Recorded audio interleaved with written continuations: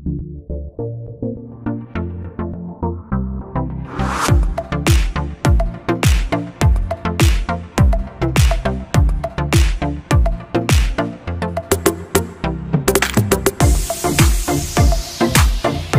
नमस्कार. मी सोनाली. स्वागत आहे तुमचं माझ्या मराठी ब्लॉग चॅनलमध्ये. सगळ्या माझ्या गोडताईंचं मित्रांचं अगदी मनापासून स्वागत आहे. तर आता ऊन पडलेलं आहे भरपूर वाजलेले आहेत पावणे दहा. यांचा मागे चहा नाश्ता सुरू आहे. माझा झालेला आहे. या मॅडमचा पण झालेला आहे. लवकर झालेला आहे. आणि आई काय करते आपण बघूया. आणि आईनं आज काय केले बघा. सकाळ सकाळी चुलीवर उठल्या उठल्या दूध ठेवलेलं आठवायला आणि त्याचा बनवला आहे खवा. खवा पण म्हणणार नाही मी कारण जास्त घट्ट नसतो ना. हा एवढा. किती लिटर दुधामध्ये? ही दोन लिट- दोन लिटर. दोन लिटर दुधामध्ये एवढा खवा. रबडी टाईप झालेला आहे. एकदम अजून आटवायचा म्हणला तर लय घट्ट होतं. होते म्हणजे आता फ्रीजमध्ये ठेवल्यावर. हा फ्रीजमध्ये ठेवलेला होता लाईटीच्या आमच्यात खूप खूप बोंब आहे. आता काय करणार तू? हिरव्या मिरच्या कट मिरचीचा खरडा. खरडा. खलबत्यात वाटून. खलबत्यात वाटून. बेसनलाही घालायला लागते का हा.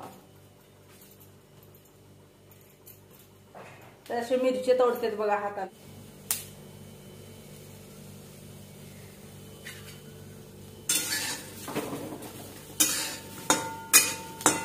तेल टाकणार ना? तिखट तिखट लागत नाही तुझ्या हाताला. बापरे.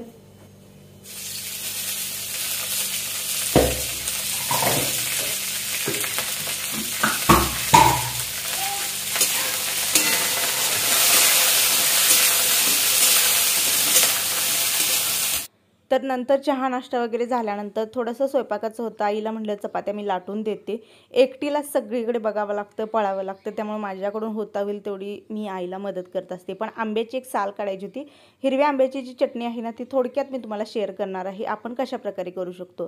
तर ती साल निघत नसताना मी यांना म्हटलं की थोडंसं आम्हाला साल काढून द्या तर यांनी लगेच आम्हाला ती साल काढून दिलेली आहे. साल काढूनच मगच आंब्याची चटणी बनवायची. अन्यथा त्याची टेस्ट तुरट येते.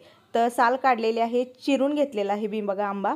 आणि सकाळी ना हिरवी मिरची लसूण याचा ठेचा बनवला होता. त्यामध्येच मी आता हा आंबा टाकलेला आहे. थोडा आणि लसूण घेतलेला आहे. लसूण खूप लागतो. बस जिरं आणि आपल्या चवीनुसार मीठ टाकायचं आहे. मिक्सरला फिरवून घ्यायचं आहे. आपली चटणी तयार आहे. एकदम साधी सिंपल अशी आपली चटणी तयार होते बघा.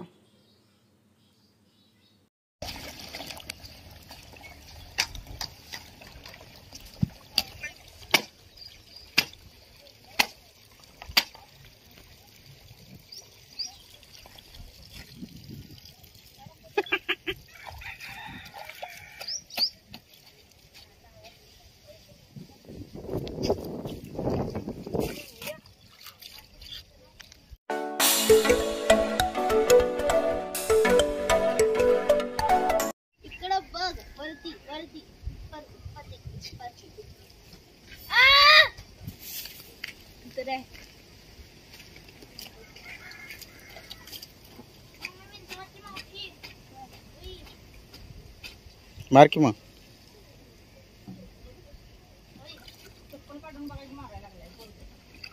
तुला कंटिन्यू करायच्या आधीच एक ऑइल आहे त्याबद्दल मी शेअर करणार आहे. आणि हे जे ऑइल आहे हे माझ्यासाठी मी मागवलेलं आहे. मध्यंतरी मी म्हणलेलं की ते दोन मला प्रमोशनसाठी आलेले पण हे जे आहे ते खास आमच्यासाठी हे केलेलं आहे. तर आम्ही सध्या वापरत आहोत. आता याचा वापर कशा प्रकारे आहे? कोणत्या कोणत्या ह्याच्यासाठी वापर होतो? तर एक तर म्हणजे केस गळणं खूप प्रमाण वाढलेलं आहे हल्ली. ते तर आहेच नवीन केस येण्यासाठी आहे केसांची शाईन ठेवण्यासाठी आहे. खूप सारे याचे वापर आहेत. यामध्ये काय काय आहे सगळे डिटेल्समध्ये तुम्हाला मी माहिती देईनच. पण त्याचबरोबर एक सांगते की एकशे दहा एम एलची बॉटल आहे आणि प्राईस खूप वेळा प्राईस विचारली जाते.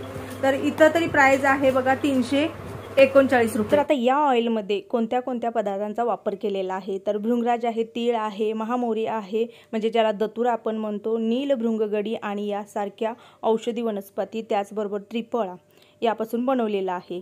त्याचमुळे हे ना vitamin B complex vitamin E calcium प्रथिने मॅग्नेशियम पोटॅशियम आणि फॉस्फरसचे पॉवर आणि त्याचबरोबर या दुर्मिळ औषधी वनस्पती केसांच्या कुपांचे पोषण करण्यासाठी आणि केसांच्या शॉप्ट टाळू आणि मुळे यांचे आरोग्य पुनर्संचित करण्यासाठी चमत्कार तयार करण्यासाठी एकत्रितपणे कार्य करतात. आणि त्याचबरोबर डोक्याच्या भागात रक्तप्रवाह वाढवून तुमचे जे केस गळती जी आहे त्याला थांबवण्याचं काम करते ज्यामुळे तुमचा विपुल मुकुट आकर्षक आणि लज्जतदार बनतो. त्याचबरोबर हे जे तेल आहे ते बॅक्टेरियाच्या वाढीस प्रतिबंध करणारा पदार्थ आणि अँटीफंगल गुणधर्म नैसर्गिकरित्या तुम्हाला कोंडा उवा आणि कोरड्या फ्लेक्सपासून वाचवतात.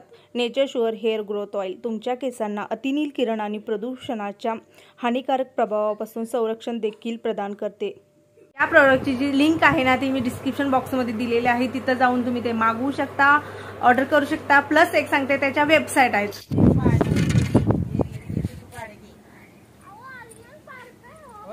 बर काय तू मोठी तुझं काम करू लागा मला. गाडी नको ती भेद आली रेडी घेऊन ए अरू! चल या. सोडलायस काय? हो, नमस्कार मी सोनाली. स्वागत आहे तुमचं माझ्या मराठी ब्लॉग चॅनलमध्ये. सगळ्या माझ्या गोड ताईंचं मैत्रिणींचं अगदी मनापासून स्वागत आहे. टायमिंग बघा कुठे गेलं यांच्याकडं? साडेचार वाजलेले आहेत. आणि आता आता बाहेर जायचं आहे आईने सगळ्यांना चहा करून दिला. सगळी चहा पिली. आपण आता हा. अगे आता जायचंय तुझ्या काकूकड बाई आपली. तर अं, माझी एक चुलती आहे. हा. त्या चुलतीकडे तर जायचंच आहे पण भाऊ आहे. त्यांनी मला जेवायला बोलवलेलं आहे. म्हणजे मला यांना सगळ्यासनीच मग आईला म्हणलं आई तू चल माझ्या बरोबर. ही पण जरा बसेल वगैरे. इथं कुठं रानात कुणाचं येणं नाही जाणं नाही. आपलं घर बोलं आपण बोल उठायचं इथं इकडं आणि घरात. हिला पण थोडासा आराम मिळेल थोडस वेगळं मिळेल वस्तीवर वाडीवर गेलं की हिच्या कोणी नंदा काय? जावा भावा कोण काय भेटतील वगैरे? म्हणून म्हणलं चल जाऊन येणार मी जास्त वेळ थांबणार नाहीये. तर चला थोडस बघूया. आमचं काय म्हणतात वस्ती ना. आपली वस्ती दाखवते तुम्हाला. काकू, काका. वहिन्या त्यांची मुलं. आहे मी शेअर केलेला आहे रसिका होती तेव्हा. आम्ही रानात आहे आम्ही. हम्म. त्यांनी तिथं वस्तीवर आणि असते. आपल्या रस्ता बघून आहे ना एक ताई म्हणते बाप रे केवढा डेंजर आहे. आणि- एवढं लांब. म्हणजे तर शेतात राहायला येऊन पंधरा वर्ष झाले. हा रस्ता नाहीये इथं. आहे फक्त टू व्हीलरचा आहे. इथे ना समोर खूप मोठी विहीर आहे इथं. त्यामुळे काय होते माहिती का फोर व्हीलर येताना थोडंसं अडचण होते. बघूया आता इ- इथं रस्ता होणार आहे पण आता हे एकाच घरासाठी कुठं जेवढी जास्त घरं येतील होय का नाही? होणार की रस्ता होणार झाला आहे? की नाही? पाठीमागनं हाय म्हणते रस्ता. हा. पण नाही ग रस्ता बरोबर आहे नाहीये की? गाड्यांची वाट लागते. बरं झालं आई? होय. आई सर आई सगळे कपडे काढणार याच्यात आमची बाबा बघा. काय करताय हो दादा? वप वाढायला लागलेत. काय म्हणतात बघा साडी बिडी निसून जातील का नाही? नाव ठेवतात. माझं माहेर आहे चला. दर का मा- माहेरात लेकीनं साडी घालायची. मग त्याला काय उपयोग? अगं तर सुना घालून तर आमच्या ह्याचा रस्ता बघा कशा प्रकारे आहे. तुम्ही पाहू शकता हा वडा आहे.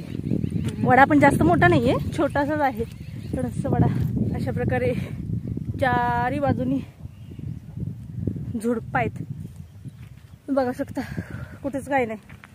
ना कुठं घर ना कुठं दार कुठं काय नाही. पण आई ना इथं ह्या ह्याच्यात कोण नसताना तू आलती ना ग? एकटी येऊन राहिली ती. तू भीत भीत नाही नाही आता हा आता झालेली आहे ती. लांडोर लांडोर. लांडोर आहे? मोर लांडोरे. आलेले आहेत इथं आई इथं कुठली बाग होती ग? इथं इथं. काय ग? Dragon fruit dragon. ड्रॅगन फ्रूटची बाग आहे इथं. काढली? का काढली? म्हणजे फळ तर घेतलं का त्यांनी? फळ घेतले. आहे ग आहे. छटले वाटतं ग. छटकाम केले वाटतं. आहे. आहे खरं बहुतेक बाग छाटून टाकलेली आहे. पूर्वी होती. आणि ह्या भागात ना जास्तीत जास्त द्राक्षाची बाग ना. जास्त करून द्राक्षाच्या बागा इथं आहेत. ह्या भागामध्ये. मामांच्या गावाला डाळिंब असतात. है ना? तिकडं घरोघरी थोडं सोडलं की घरोघरी जसं आता आमच्यात नाहीये. कोण करणारच नाहीये ना? बाहेर येते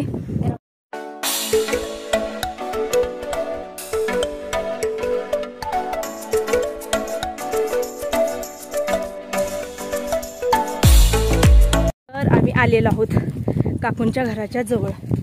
तर आमच्याकडचं वातावरण बघा कसं आहे. सगळ्या म्हणतील काय सगळी दगडण ढकळत आहे तेव्हा काय? तर यस. आणि डोंगर. डोंगराशिवाय काही नाही इथं होय नाही? आईला चिडवायची पहिला डोंगरात दिल्या. आणि मला म्हणायची डोंगरातली मुलगी करून आणले. काय? मी? झालं की दोन तीन दिवस येऊन. होय तुम्ही बरं आहे? होय बरं आहे बघा. आले तिकडून जाऊन येते की येताना येते की? इकडं सुभाषकड बरं आहे ना सगळं? कुठे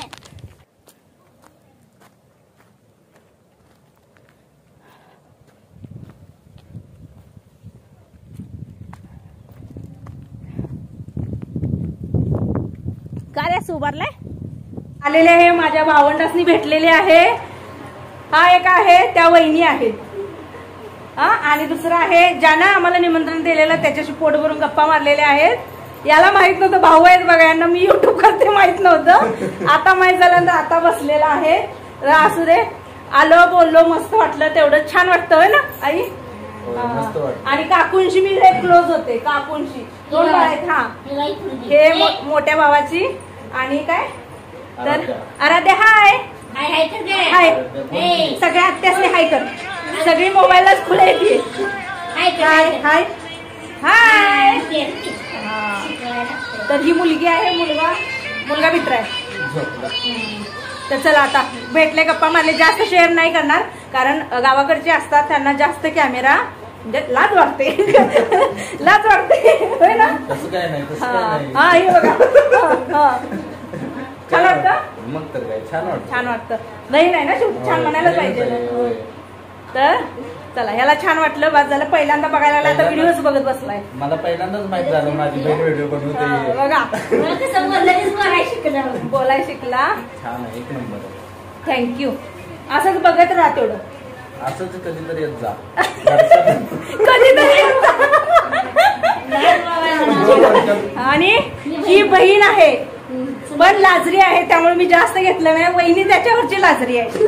लाजरी माणसं असतात ना त्यांना थोडस विचारपूर्वक घ्यावं लागतं बघा लाजतात. तर ही पण बहीण आहे बारकी सगळ्यात. ह्या दोघांच्या नाही सचिनच्या पाठीवरची ग? मधली मधली. मधली बहीण आहे. छान वाटलं सगळ्यांनी भेटलं. हिची मुलगी तर खूप सुंदर आहे खरं नाही दाखवायला. मुलगी खूप छान झाली तर सगळे मस्त आहेत हॅपी आहेत. सगळेजण आपापल्या लाईफमध्ये बिझी आहेत मस्त आहेत. आणि सगळेजण छान संसार करतात. आम्ही सायकल घेऊन जाऊ तुमची? देतोस काय? आणा ए आई आई सायकल घे तिची चल. देतो का? घे गाई. आई सायकल घे. आई घे घे. जातो का? आत्या घरला जातो? मी बसू का? ए भाईयो आत्या घरला जातो का? मी बसू भाईयो, बघ मोबाईल कडे बघ मोबाईल कडे मी नेऊ तुझी सायकल. घेऊ का? एक नाही दोन नाही.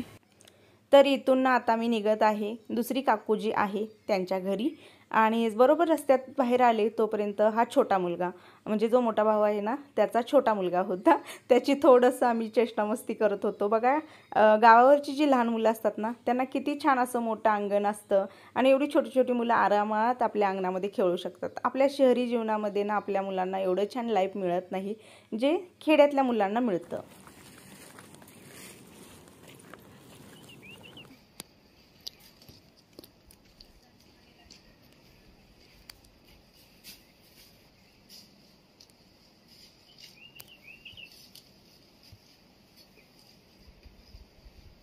त्या घरापासून अगदी पाच मिनिटाच्या अंतरावर हे दुसऱ्या काकूचं छोट्या काकूचं घर आहे. बघा ती मोठी काकू होती ज्यांच्या आम्ही घरी गेलो त्या आणि ही छोटी काकू आहे.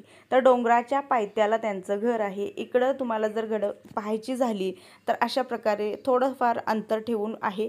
आणि वस्ती जी आहे ती इथून थोडंसं एक किलोमीटर लांब आहे. तिथं मी नेक्स्ट टाईम जाणार आहे. तिथं माझी आत्या आहे. त्यावेळेला तुम्हाला तिथलं शेअर करेन होय. तो कवा रे मी तुम्हाला घ्यायला लागले यात मी तुम्हाला यात घ्यायला लागल्या हे आमचे काका. संसार बघा म्हणून आमची काकू. तर माझ्या जुन्या ज्या ताई आहेत त्यांना माहीत आहे हे घर. या घराचं बांधकाम जस्ट सुरू होतं. अजून परशी वगैरे काही झाली नव्हती. फक्त भिंती उभारलेल्या होत्या. त्यावेळेला मी या काकूच्या घरी आलेले होते. घर शेअर केलेलं होतं. त्याच्यानंतर फार बदल झालेला आहे. खूप साऱ्या जे काय काम होतं ते करून घेतलेलं आहे. गावाकडची घरं अशा पद्धतीनं असतात. तर ही किचन आहे. किचन म्हणजे काय? तर स्वयंपाक चुलीवरती जर बनवायचा झाला तर इथं आणि एक प्लस बाथरूम आहे.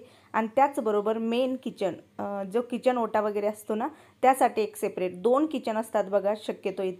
तर इथे थोडासा वाईसचा प्रॉब्लेम झालेला होता. हा जो दिसत आहे हा काकूंचा मुलगा. शिक्षण घेत घेत इथली मुलं जी असतात ती काम करत असतात. म्हणजे असं नुसतं प्रॉपरली शिक्षण पाहत नाही आहे तर घरातलं शेतातलं जनावरांचं सगळं बघत बघत जी ग्रामीण भागातली मुलं असतात ना ती आईवडिलांना मदत करत असतात. तसा तोही त्यांचा मोठा मुलगा सोळा वर्षाचा आहे आणि तोही मुलगा शिक्षण बघत बघत घरकाम करतो. तर चला मी आता निघालेली आहे. मला आता टेन्शन आले आमच्या बाबांचं. आमच्या बाबाने आम्हाला घरात जर घेतलं नाही. आईला आम्हाला काय नाही. काय म्हणत होते का तुला? बाबा काय म्हणले तुला? आता घरातच घेत नाही तुला. तुझं काय काम आहे? त्यांनी एक पाहुणं हिंडा चालली तू कशाला चालली? पण मला ना मला आई असेल तर बरोबर बरं वाटतं यायला. मी कुठं तशी जात नाही ना ग. कधीच कुठंच नाही. कधीच जात नाही. माझ्या शेवट कुठं कुठं कुठं? मी एकटी कधीच कुठं जात नाही. आणि कधीच हे नाही. तुला मुलगी म्हणून तुला कशी वाटते का मी? अयो मस्त वाटते ग. माझी सोनाली लई माझ्या लहानपणापासून लोटायचं भांडी धुवायची. कपडे घड्या घालायच्या. हे लहानपणापासून. आणि बारकी मी तिचं चौथीला पाचवीला. आणि गुरु राखाय गेल्या डोंगराला. तर जळणाखाली शान घेऊन सारवाय गेलं हातात काटा मोडला. डॉक्टरकडे नेलं डॉक्टर म्हणलं ऑपरेशन करून हं. पैसा नाही जवळ. हं. ले बाय हजार काय करायचं? आणि त्यावेळेला काय केलं? कुठलं ग? आठ? दिवस माझ्या हातात काटा होता. काटाच जिती यायचं टोकरायचं जिती यायचं टोकरायचं. मी ना माझी आई कधी येऊन सारवणार? म्हणून मी सारवाय गेली ती मला अंदाज आला नाही. जळणाखाली काट. म्हणजे होतं पण मी सारवत होते. पण तिथं असेल असा अंदाज आला नाही. एवढा लांब होता काटा. आणि तो काटा असा घुसलेला आठ दिवस. तो काटा असाच होता माझ्या हातात. ह्या हातात उजव्या. आठ दिवस माझी हालत लय बेकार होते.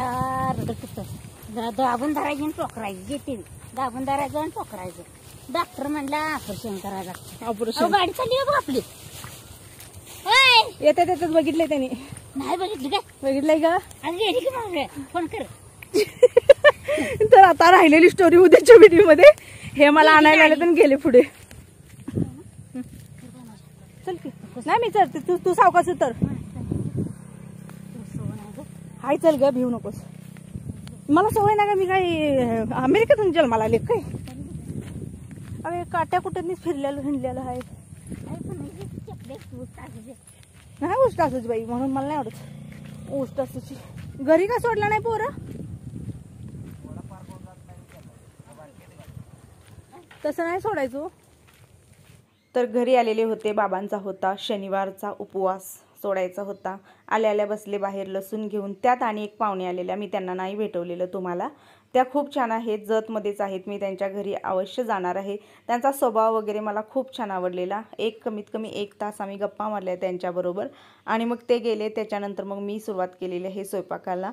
आईला म्हणलं तुला मदत करू लागते थोडीफार. एकटी येऊन. कारण दोघी पण बाहेर गेलेलो होतं. तर दोघींनी पण करणं गरजेचं होतं. कारण तीही दमलेली होती. तर आंबे आणलेले होते कारण यांनी कधी आंबे खाल्ले नव्हते. जसं तुम्हाला परवा शेअर केले होते मी तर हे पहिल्यांदा आंब्याचा रस खाणार आहेत. म्हणून म्हणलं चला शनिवार आहे तर उपवासासाठी आंब्याचा रस जो आहे तो बनवूया.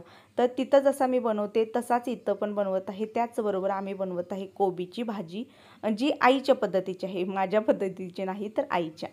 तर कोबी जो आहे तो कट करून घेतलेला आहे. मी चिरत आहे कांदा आणि सगळ्यात मोठा माझा दुश्मन म्हणला तर कांदा. अगदी नॉर्मली जरी मी कांदा चिरला तर माझ्या डोळ्यातून दोन दोन दोन दोन धारा लागतात. काय अवस्था आहे माझी बघ. मला डोळेसुद्धा उघड झाप करता येत नव्हते आणि आई म्हणते की नवऱ्याचं प्रेम असल्यावर ना असं होतं.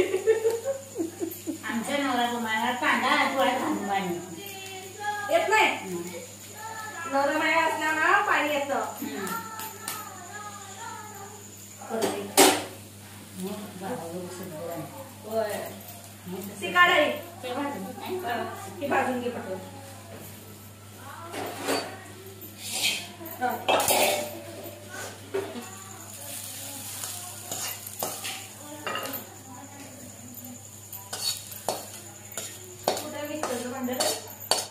तर आज येताना मी तुम्हाला जी माझ्या हातात काटा घुसलेली जी स्टोरी शेअर केली ती थोडीशी अर्धवट शेअर केलेली होती. पण थोडक्यात मी सांगेन ते राहून राहून जायला नको तसंच म्हणून.